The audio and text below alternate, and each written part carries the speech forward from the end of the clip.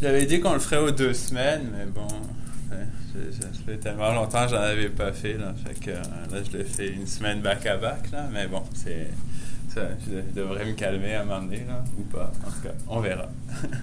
donc, euh, aujourd'hui, ce que je, donc, suite à vu le, protocole SSL la dernière fois avec euh, le client, avec un serveur web, euh, l'idée, en fait, c'est de continuer sur, la, sur le même thème, de couvrir la partie de comment créer son propre certificat d'autorité.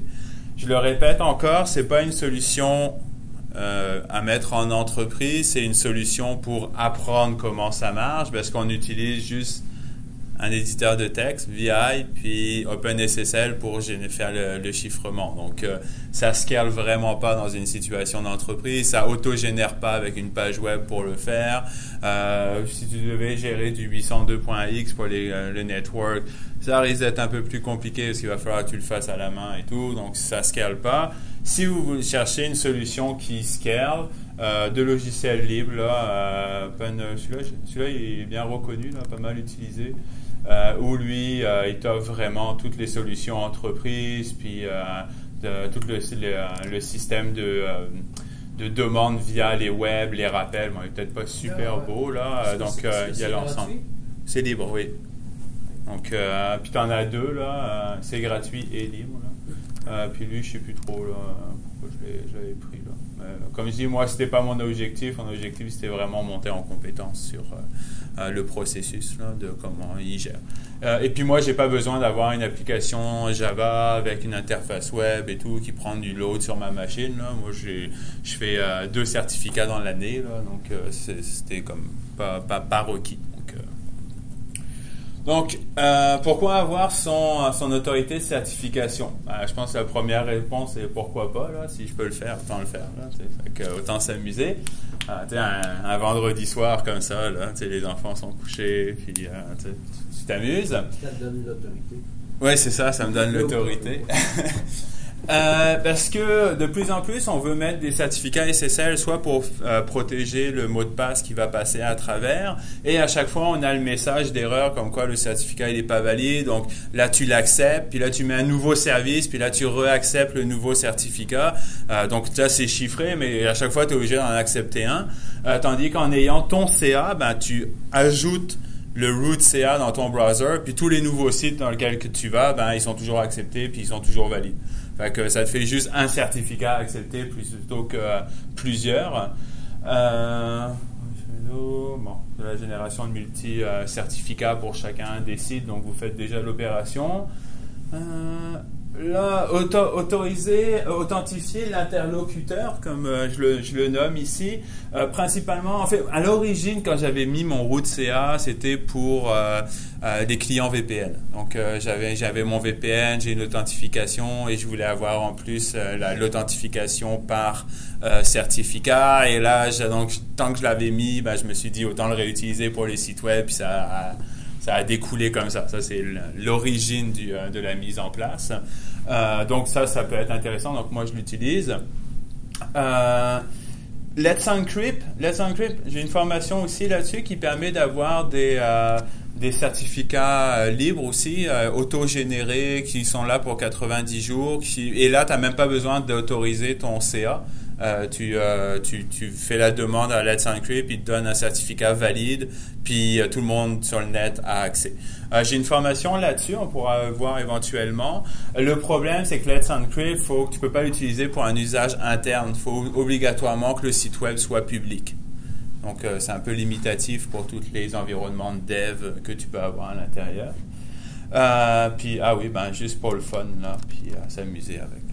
Euh, c'est vraiment ça le but euh, à l'origine pour moi. Euh, j'ai suivi une documentation qui est en anglais. à l'origine. Donc ça, ça a été la, prémisse. Donc j'ai repris énormément de choses qui a été repris de là avec lequel. Donc vous pourrez aller suivre le lien en anglais si vous êtes motivé. Ouais, anglophone. Ok, là j'ai refait un petit truc pour la cryptographie asynchrone parce que tout se base là-dessus. Donc je vais juste aller très très rapidement euh, donc tout va fonctionner donc avec le système de cryptographie asynchrone, avec le système de deux clés, la clé publique et la clé privée. La clé publique peut être représentée en fait avec euh, la, côté du certificat. Euh, donc, je pense que la partie du, du chiffrement est un peu plus claire. Donc, on va prendre la clé publique euh, de la personne. Donc, si Bob va envoyer le message à Anne, il va utiliser la clé publique et il n'y a que Anne qui va être en mesure de euh, le déchiffrer. Ça, c'est ce qu'on avait vu la dernière fois. Ce que j'ai fait, toujours avec mon, euh, mes qualités d'infographe que vous me connaissez, j'ai essayé de faire une autre représentation parce que parfois, c'était pas clair. Et je me suis dit, ben, regardez, prenez la clé publique dans le cas présent. Ben, c'est comme si tu fournissais plein de cadenas à tout le monde. La personne, elle prend le message, elle met le cadenas, puis il y a juste Anne qui a la clé pour ouvrir le cadenas. Donc, tu sais, c'est une autre manière de voir la chose. Le problème, c'est que bon, distribuer plein de cadenas, ça va être un peu compliqué, là. C'est tout à l'ère du numérique. Mais en fait, le, mécanisme, c'est exactement ça. Donc ça, ça peut donner une autre vision de, de, l'asynchrone dans, dans, dans, le contexte. Au niveau de l'autorité de certification, lui, il chiffre, ben, il va avoir le chiffrement qui va se passer entre le browser et le serveur web. Mais avant d'arriver là, l'autorité de certification, elle, tout ce qu'elle fait, c'est signer. Donc, tu fais confiance au root CA et après, lui, il signe tous les certificats qui suivent. Donc, vraiment, où il va être utilisé le, euh, le root CA, c'est pour signer d'autres certificats qui, eux, vont chiffrer par la suite. C'est vraiment là. Mm.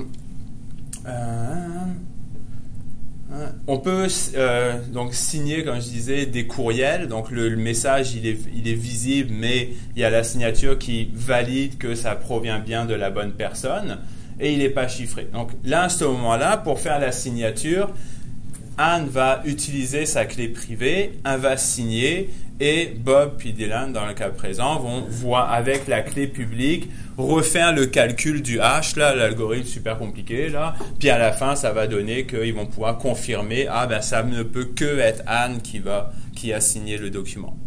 Ok? Ah, Une autre représentation. Si je sais, c'est magnifique. Je, je, je, ouais, c'est ça.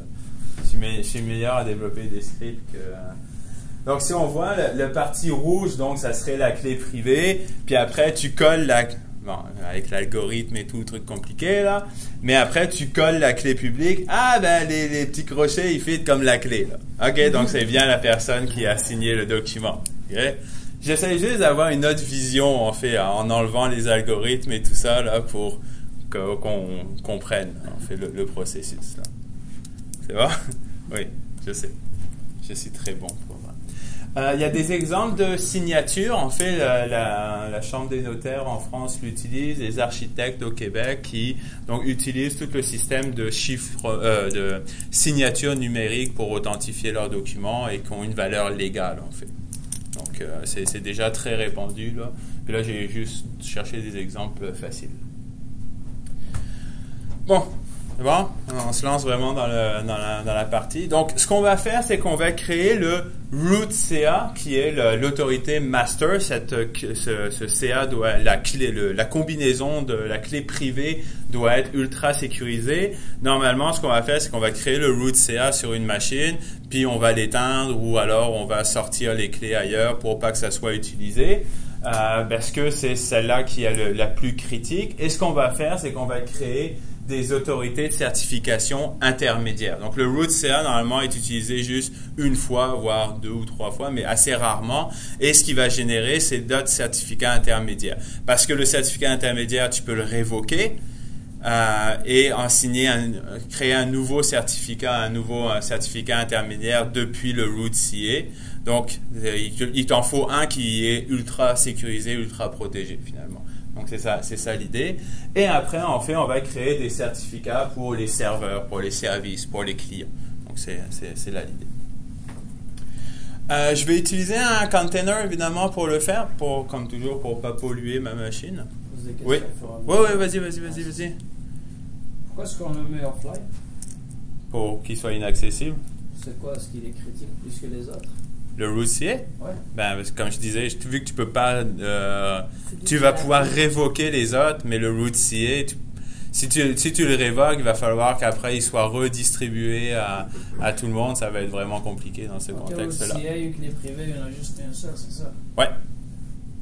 C'est ça, ok. T'en fais juste Puis après, les intermédiaires, tu pourrais les donner par département ou autre. Donc, chaque unité pourrait avoir son intermédiaire.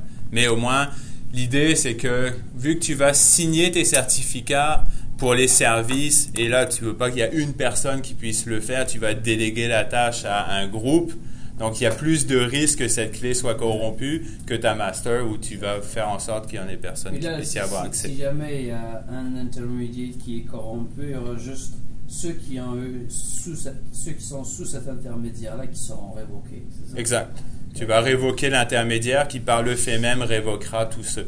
Mais si le master en haut, là, c'est tout. tout- C'est l'ensemble de la chaîne qui tombe en morceaux. tout- C'est bon, Ta- merci. ta- ouais, comme tu dis. On va utiliser deux outils pour faire l'exercice. Euh, OpenSSL qui va permettre de faire la génération des euh, tous les chiffrements, les clés, etc. Puis euh, le meilleur éditeur euh, au monde, ça va VI, pour pouvoir faire l'exercice. Noir là. et blanc. Ouais, c'est ça. Ou Blanc ou noir, tout, tout dépendant de ton terminal, comment tu l'as. Comme le type catholique. Donc, on- ce que j'ai fait, c'est que je suis parti dans Ubuntu euh, 16.04 et j'ai fait l'installation donc de, de ces deux outils.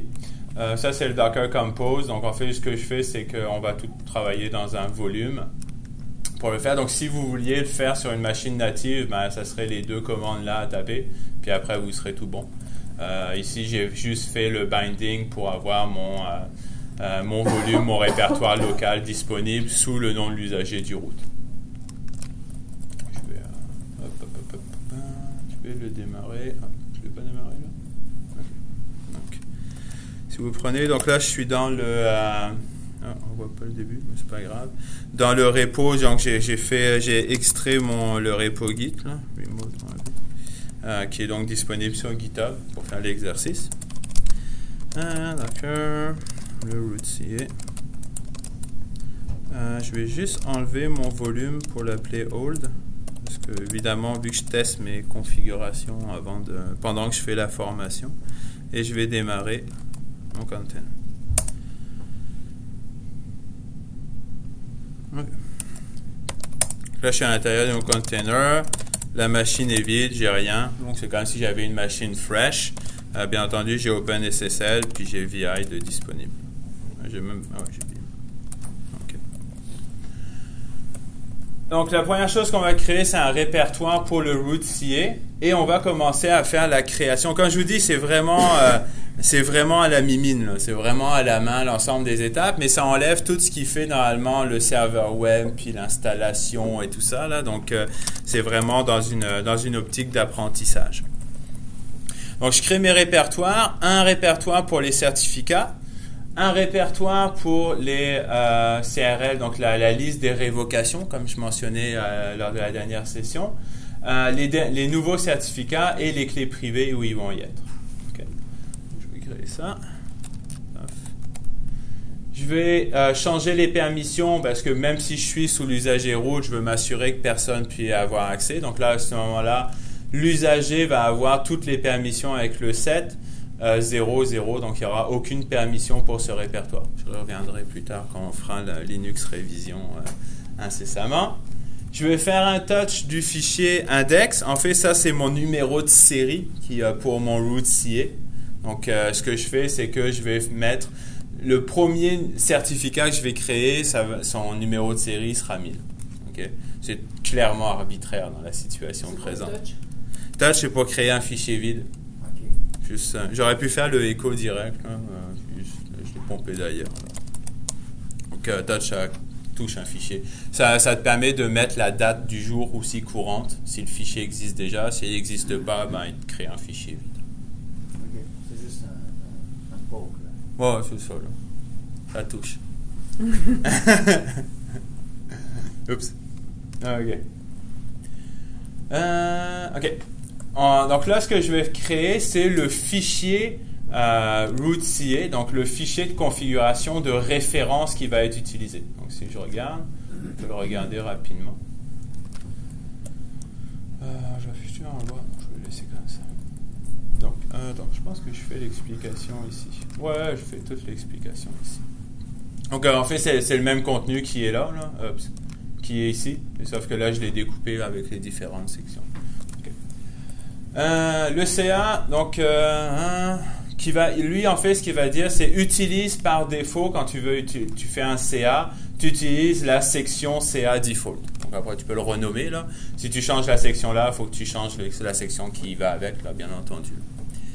Là, en fait, je lui définis où sont les différents répertoires. Donc, le root, la, racine, c'est là. Et après, le certificat va être dans CERT, le CLR, euh, la database, donc pour la, conservation des, certificats, le numéro de série, où il va mettre les, euh, les fichiers random pour faire la génération. Donc, en fin de compte, je lui explique la différente structure et où il va pouvoir utiliser par la suite.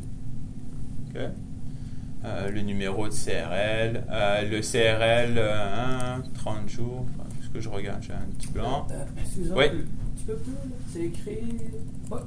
Ouais. root key and root certificate, certificate la, la, clé privée, c'est ça? Oui, en fait, ça, ça va être où va être située la clé privée et le certificat de mon root, de mon root CA.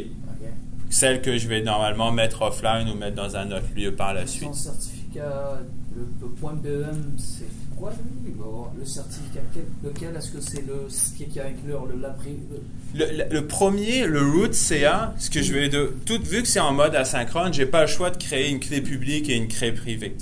Et ma clé publique, donc mon le certificat du root CA, évidemment, il est self-sign parce qu'il est autoportant dans, dans la situation présente. Le certificat ici, c'est le certificat public. Hein. C'est le certificat ah, public du CA. oui. C'est ma clé publique.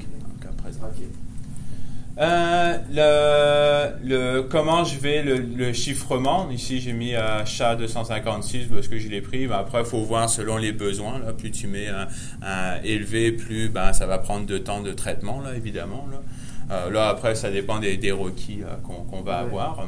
Et dans l'industrie, maintenant, c'est le minimum. Hein? Chat 256, là. J'imagine que tu pourrais mettre même plus haut, là, dépendant. Là. Euh, je ne sais pas ce qu'il dit PCI euh, en ce moment là-dessus. Euh, donc le, nom qui va être utilisé, combien de temps il va être valide? Donc ça, ça serait un peu bas dans la situation présente, mais sur la ligne de commande, on va lui dire plus longtemps. Là, en fait, c'est juste pour avoir une valeur par défaut. Et la restriction, la police de restriction qui est définie juste en dessous. OK. là, on est dans le CA, donc c'est moins euh, pertinent, mais on pourrait mettre des polices de restriction. Imaginons, parce que quand on, va mettre, quand on crée des nouveaux certificats, tu peux dire que tu dois définir où tu es. Hein. On met la ville, on met le pays, on met... Et en fait, l'idée, tu pourrais délivrer un, un, un certificat intermédiaire et lui dire, OK, mais ce certificat intermédiaire n'est valide que pour le Canada. Donc, il ne pourrait pas signer des certificats qui seraient pour l'Allemagne, la France, le Maroc, l'Algérie, peu importe, euh, de, la place. Donc, euh, c'est important. Donc, ça, ça te permet de, limiter. Ici, euh, il, va mettre, il va falloir que, c'est ça, le country match le, le, nom de l'organisation et la province, dans, dans, le cas présent. Après, ça va être optionnel ou doit être fourni. Euh, c'est quoi? Policy, ah, policy lose. En fait, euh, ça c'est pour. Donc ça c'est deux types de policy. Ici, donc tout est optionnel dans, dans cette euh, partie-là. Ça c'est strict. Et comme vous voyez, à l'intérieur de ma définition, j'ai dit ben, utilise la policy stricte. Pas mal juste ça. Euh, c'est un fichier XML. C'est un fichier texte plat, là. C'est pas du, je suis pas en XML, là. là, quand je dis, là, le, fichier, il est là. C'est vraiment. Euh, je l'ai pris sur le site ici, euh, dans le cas présent, là, où je l'avais fait, euh, celui-là. Tu vois, il y a exactement les mêmes sections d'explication. il a été libre. donc ça c'est l'explication. Qu'est-ce qui va pour la configuration quand il y a une, un request d'un certificat? La taille euh, du certificat, de certificate request, donc la taille en fait de la clé qui doit être euh, définie, UTF-8 euh, dans le cas présent, désolé pour les Chinois. la même chose pour le, niveau de chiffrement. Et ici, on va dire que c'est le extension to add. c'est un X509, donc il va être possible d'être utilisé à l'intérieur d'un site web. si on, on va utiliser le SEN, ajouter l'extension pour ou- Euh, oui, quand on va quand on va en fait ça, c'est des blocs de configuration qu'on va qui avec des valeurs par défaut et quand on va utiliser la commande PNSSL, on va pouvoir dire prends cette configuration là, prends celle-ci ou prends celle-là. Donc c'est juste pour avoir un, template pour pas être obligé à chaque fois de le saisir à la main. C'est vraiment ça l'objectif parce que euh, ça saoule tout le monde. Euh, ici, comme on voit, c'est la même chose. Vous savez, quand il vous pose des questions, il y a toujours des valeurs par défaut qui sont là. Ben, ici, c'est la même chose où moi, j'ai déjà mis donc Montréal, Québec, puis mon organisation qui va être déjà pré-remplie à l'intérieur du, euh, de la config. Euh, Et ça, c'est des apps qui vont être sur demande, en fait. Ça, c'est pour le V3CA. Ça va être ce qui va être inclus quand on va faire un certificat de type CA. Et ça, ça va être ce qui va être inclus quand on va faire un certificat intermédiaire.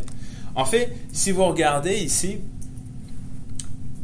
ça va être le même contenu quand on fait un vrai certificat. La différence, c'est des attributs qui vont être là. Vous voyez le basic constraint Ici, ça dit que c'est un CA. Donc, quand on va créer des certificats ou signer des certificats avec cette configuration-là, ça va mettre le flag à CA true. Donc, le certificat général pourra signer d'autres CA. Et c'est d'ailleurs cocasse parce qu'il y avait une certificat d'autor- d'autorité, pas Godaddy ou un autre, un, un plus cheap, qui avait oublié d'enlever cette option-là. Donc, quand il générait des nouveaux certificats, tu pouvais chiffrer, en faire des nouveaux indépendamment. Donc, tu rentrais dans la chaîne. Quand ça a été découvert, c'était au euh, euh, Security Conf ou euh, Black Hat, là, euh, t'imagines que pff, la boîte, je sais pas si elle a coulé, là, je me rappelle plus de son nom, là, mais elle a pas dû faire long feu, en fait, parce que tous tes certificats qui étaient valides, si tu avais pris pour 4 ans, là, ben, tu le révoques, mais ça, ça joue quand même sur ta réputation. Euh, les certificats qui vont être, l'usage qui va être possible bon, pour signer des documents, euh, critical, CRL, euh, key pour signer d'autres documents. Ok, bon, là, t'as pas pour les sites web, à présent. Ok, Puis ça, c'est les informations, je vais passer vite, mais ça, c'est pour les, euh, faire des certificats pour des users. Euh, comme vous voyez, il n'y a pas le CA, CA true, évidemment. Il est à false. Il est spécifique. Ah ouais, Ouais. basic constraint, il est à false, comme quand normalement on fait pour des certificats utilisateurs. J'ai-tu mis le nom de la compagnie Euh, Puis là aussi, donc ça c'est quand on signe des certificats pour des serveurs à false. Thomas, tout ça, Ouais. c'est les paramètres qu'on va trouver dans le fichier euh, de configuration du routier, c'est ça? C'est ça, c'est ça. Ok, on va trouver tout ça. Ok. Tout ça va être à l'intérieur. Là, je vais générer, donc je vais faire, je vais faire la cérémonie des clés, donc qu'ils appellent là, donc la création des clés à l'intérieur. Donc je vais générer ma clé pour mon root CA. Parce qu'à un moment donné, il faut, faut y aller. Hop, hop, hop, hop. 4096, c'est le nombre de jours. De bytes. C'est la taille de ma clé. La taille de la- Plus c'est long, plus c'est. Bigger is better. À l'intérieur ici, ce que je vais mettre, c'est que je vais mettre euh, un. Avec les certificats connaissants.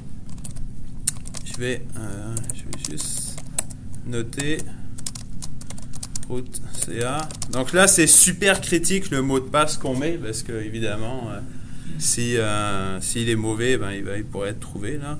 Donc je vais mettre soleil 1, 2, 3. Ah mais Majuscule. Ouais, 1, 2, 3. Non, mais je- Alors, là, on n'est pas dans la réalité. Là. Donc, donc là, j'ai créé ma clé.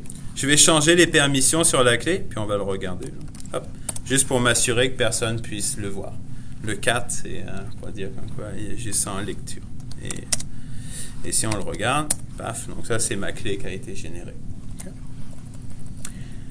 Maintenant, donc là, j'ai créé la, la partie clé privée.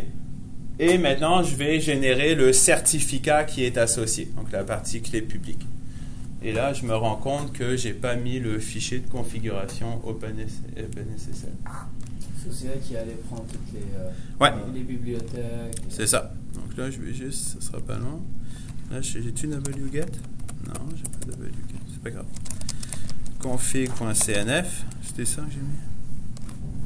Non, openssl.cnf, ce sera pas bien long. Vim, paf.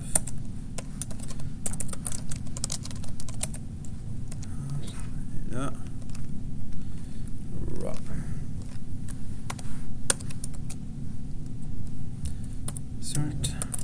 Parfait.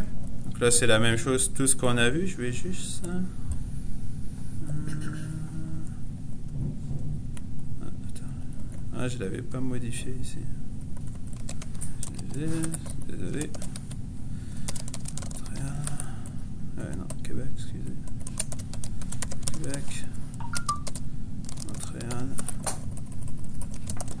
Démo CA. Ok. Tout le reste était bon. Excusez, je vais juste relire. Ok, cool. Je venais de changer Montréal des mots. euh, Ça, c'était les paramètres. Par défaut, en fait, quand je vais générer le certificat, pour que ici, c'est c'est ça, pour que ici me le mettre par défaut les valeurs. Pas que je sois obligé de les retaper. Mais en fait, c'est pas juste pour la section que je vais rentrer là, c'est que pour tous les certificats intermédiaires que je vais faire, les nouveaux certificats de- pour euh, par, par paresse, là, de ne pas être obligé de le rentrer à chaque fois. C'est bien correct. Donc là, je vais faire une requête de certificat en utilisant le fichier de config que je disais. Je lui définis où est la clé privée. Je vais dire c'est un nouveau certificat de type X509. Je le valide pendant euh, 7300 jours avec un chiffrement SHA et je lui dis utilise la section V3CA donc qu'on avait vu un peu plus tôt. Donc pour lui dire que ça c'est mon root C. Et je lui dis ben le certificat ici.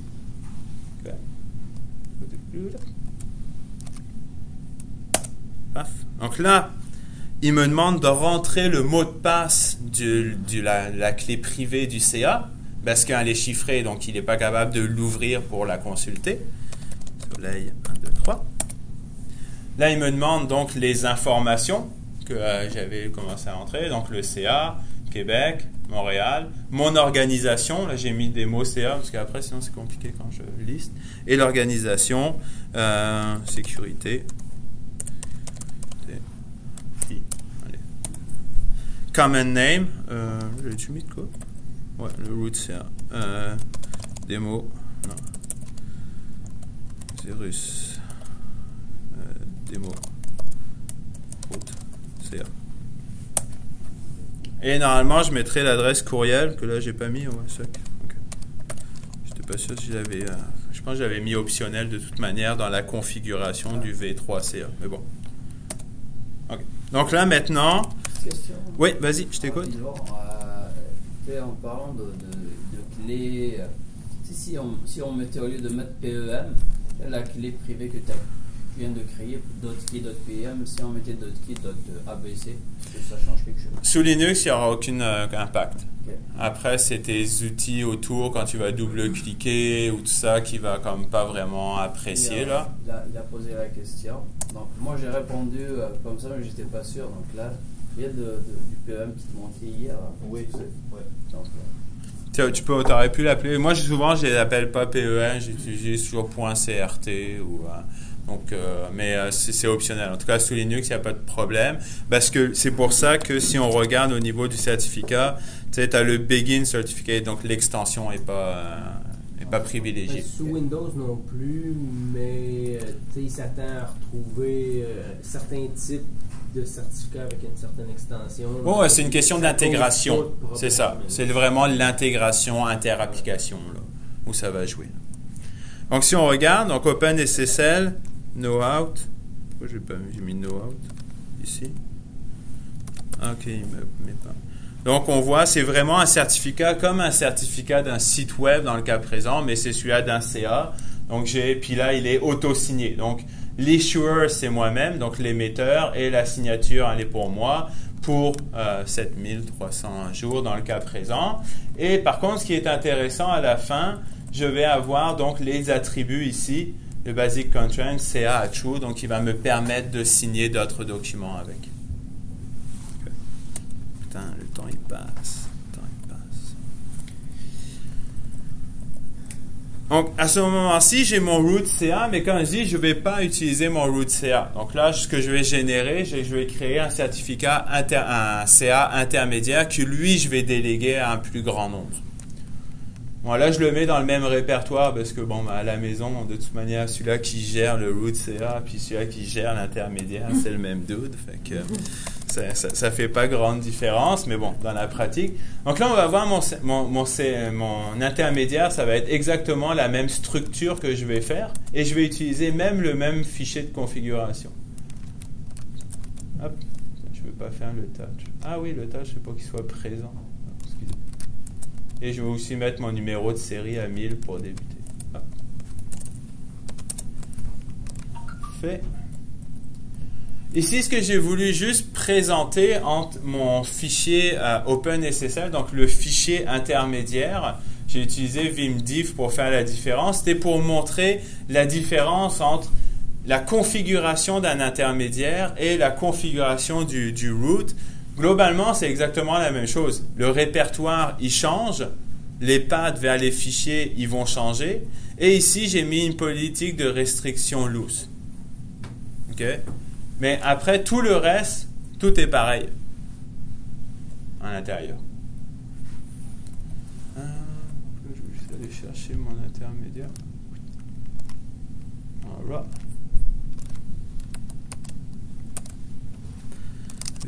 OpenSSL.cnf. Si vous voulez, je pourrais faire une formation Vim aussi. Je l'ai déjà fait.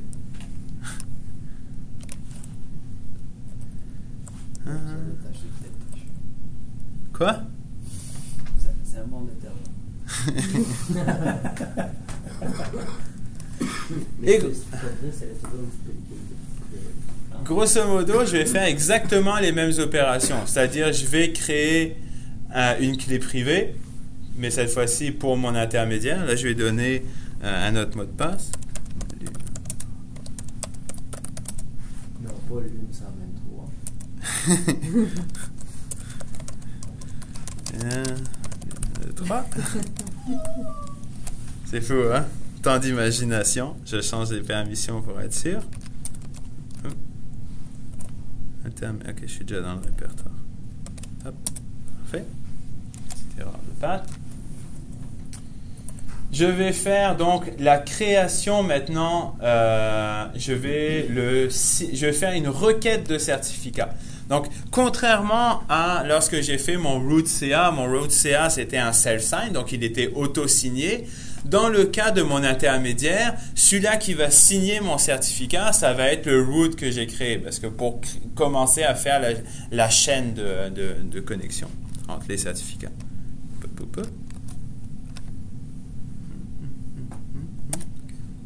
Oups. L'une, 1, 2, 3. Ah, j'ai pas changé le contenu. Désolé. Québec. Montréal. Organisation. CA. Euh, je sais pas moi, TI. Mettons que j'aurais donné cet inter. Un common name. Un extra démo intermédiaire. J'essaie juste d'avoir quelque chose d'autre parce qu'après, hein, TI. Donc là maintenant, j'ai mon intermédiaire qui est quelque part ici, qui lui va devoir être signé par mon CA, mon root CA déjà. Je retourne dans mon CA. Tu as créé une, une clé privée et un, et un certificat public, c'est ça? Une demande, ouais, un certificat, mais la, le, mon certificat dans la situation présente, c'est ça, il n'est pas encore signé. Donc il y a uniquement la partie. Euh, c'est ici. de, de l'intermédiaire qui est là. C'est ça, en fait, exactement. Euh, c'est quoi le protocole SSL Voilà, CA. Mon super dessin pas le manquer. Hop! J'ai juste la partie en noir.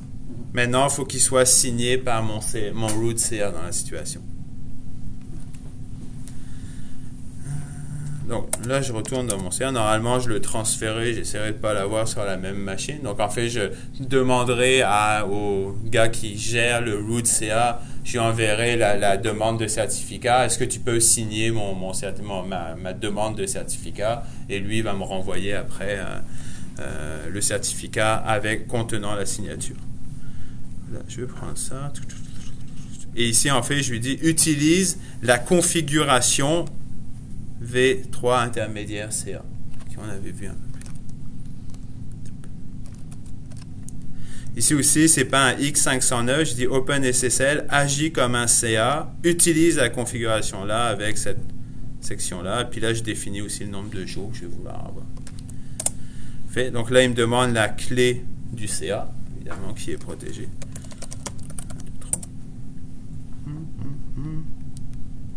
Ok, cool, super. Donc là, on voit. Ah, là, on voit pas super bien, en fait. Excusez. On voit ici que j'avais une restriction, et c'est ça tout le problème de le rentrer à la main. C'est que là, il dit comme quoi, et l'organisation ne fit pas avec qu'est-ce que j'ai. Parce qu'il y en a un où j'ai mis une majuscule, et l'autre, le CA, lui, c'est démo CA. Donc là, il me bloque, donc là, je devrais recréer mon parking certificat. C'est nécessaire. Intermédiaire. hein, hein, hein. Ça, c'est quoi? Ça, c'est la signature. Ouais. Et ça, c'est ma requête. Ok, cool. je vais la refaire. Lune 1, 2, 3. CA. Montréal. Non, c'était pas ça, excusez. C'est Québec. Lune 1, 2, 3. Ça va, voilà. Ça, c'est Québec. Montréal. Et là, là, c'était, il voulait un minuscule.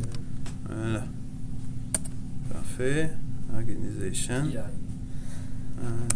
Merci. A. Virus.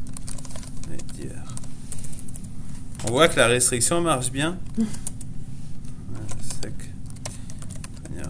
Il marche pas l'email. Parfait. Je reviens. Pas nécessaire. CA. Là, je refais ma commande pour faire la signature. Ah, pas nécessaire. Ah, ok, ouais. Voilà, OpenSSL comme ça. Ouais, ouais, ouais, c'est c'est c'est. Ah, c'est où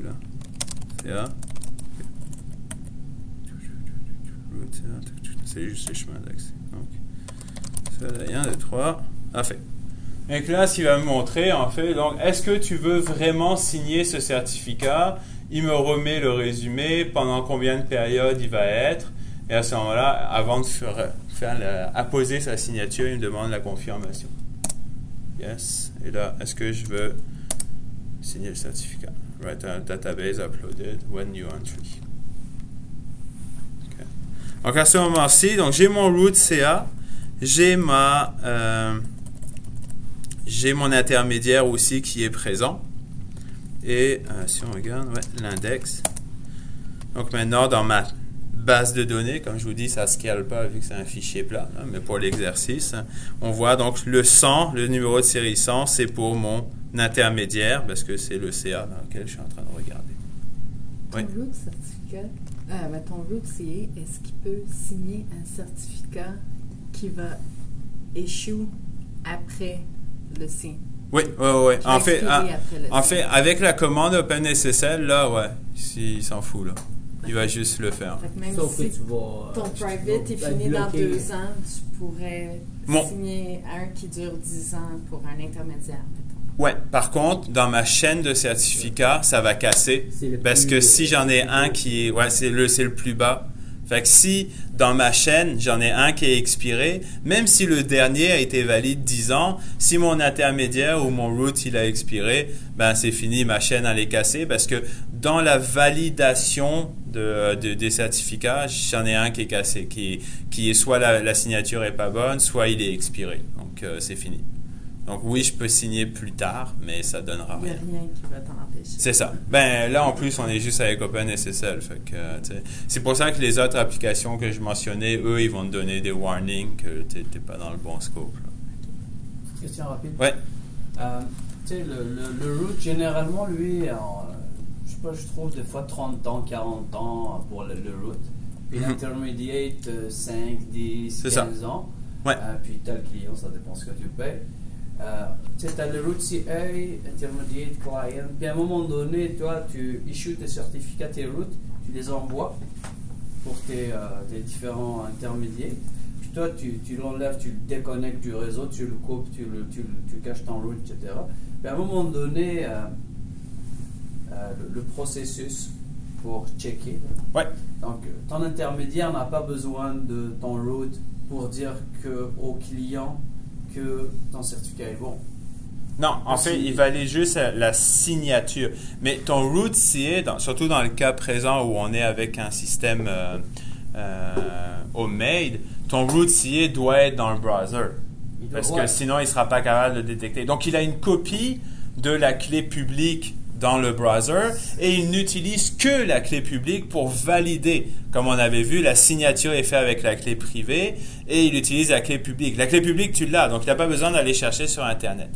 La seule chose qu'il faut, c'est quand tu mets ton root offline, ce que tu dois faire, ou au moins mettre la clé privée offline, s'il faut que tu t'assures que ton CRL, l'URL de, de liste de révocation, Soit elle soit accessible.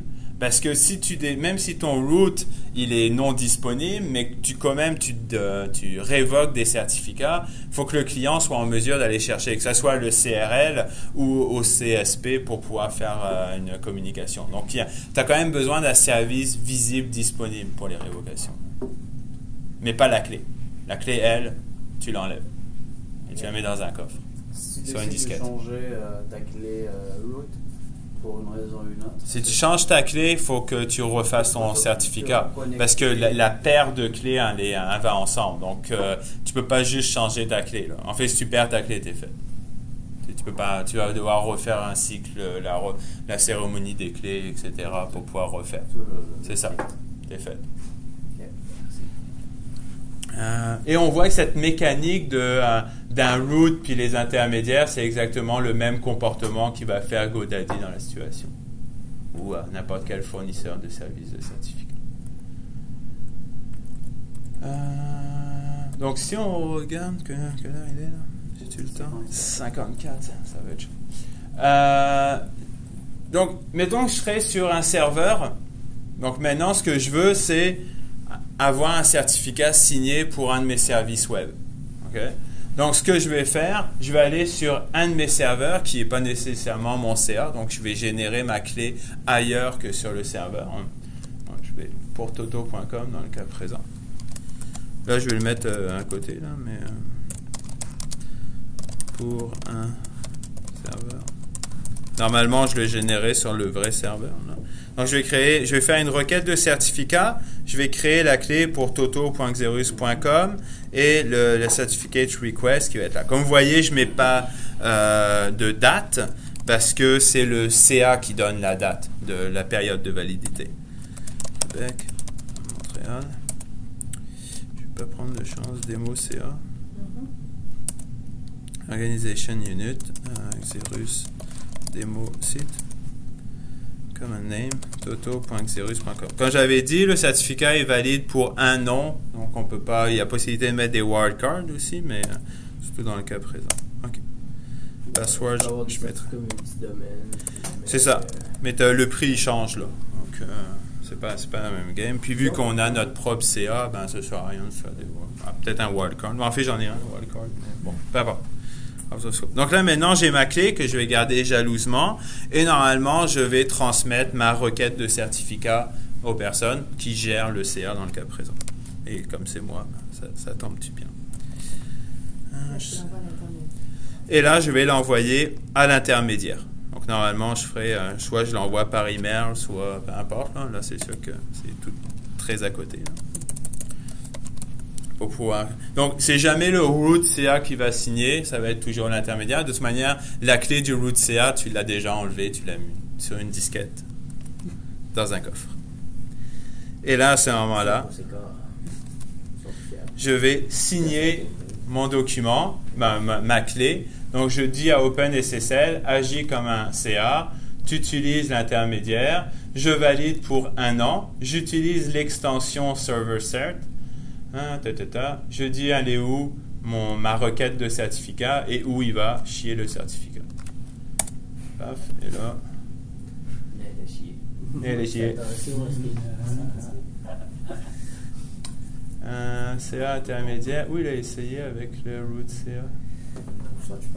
Ouais, ok, c'est- c'est dans le fichier de config. Attends. root CA. Parce que là, il me dit qu'il n'a pas réussi à ouvrir private key. Ah, ok, c'est dans mon fichier de configuration ici. Excusez. Puf. C'est dire, CA, ouais, c'est ça. Je comprends pas que ça a marché tout à l'heure. Excusez. C'était dans le fichier de configuration. Ok, là il me demande le mot de passe. L'une, 1, 2, 3. C'est sûr que. Ah, et là il n'a pas trouvé le Toto parce que là, le fichier de requête de certificat. Parce que j'ai pas dû le copier là. Ah, mais il porte pas le bon nom. C'est correct. Ah, c'est une vraie démo, hein. Ça marche pas. Du premier coup. Mais au moins, vous voyez des erreurs si vous le faites chez vous à la maison, là. Ce soir, là. Ce week-end. Donc là, j'ai exactement le même processus qui va me montrer, en fait, me demander une confirmation préalablement. Et comme vous voyez bien, ici, j'ai le CA à false. Donc, c'est correct, il ne pourra pas signer d'autres certificats. Et voilà, et normalement, dans CERT, euh, il m'a mis le certificat signé par mon intermédiaire, X509, in, cert, euh, texte. Oups, majuscule, texte. Je tu laisse Non, pas laisse. Ah, c'est le problème du container. Donc on voit, j'ai bien mon sujet que c'est pour toto.com ici qui a été signé et celui-là le issuer, donc maintenant c'est l'intermédiaire qui m'a fourni l'information. Bon, là j'ai évidemment plus de temps. Euh, ce que je, donc je vais vous laisser euh, pour l'exercice, Euh, pour ceux que ça motive. Donc ici, ce que j'ai fait un peu, c'est que j'ai montré en fait la configuration d'un serveur web en HTTPS. Je vous ai mis les bonnes pratiques de configuration.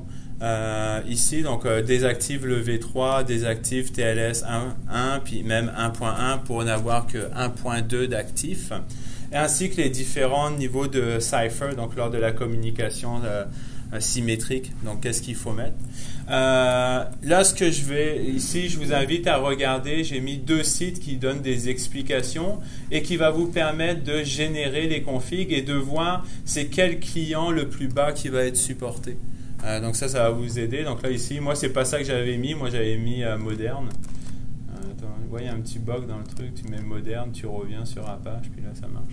Euh, mais, euh, mais tu vois, comme Java 7 est plus supporté, le plus bas, c'est Java 8. Donc, euh, moi, il te génère la configuration appropriée, puis tu peux choisir le bon que tu veux. Donc, je trouvais ça intéressant. hein. Tu génères quoi ici? Il te génère la configuration Apache, ou la Ah, configuration pour HA Proxy, ou pour euh, Nginx. Tu choisis Modern Intermediate. Oh, Ouais, si tu veux supporter les vieux, ben là, il va jusqu'à XP, Java Ça, 6. c'est bon pour le gouvernement. C'est ça.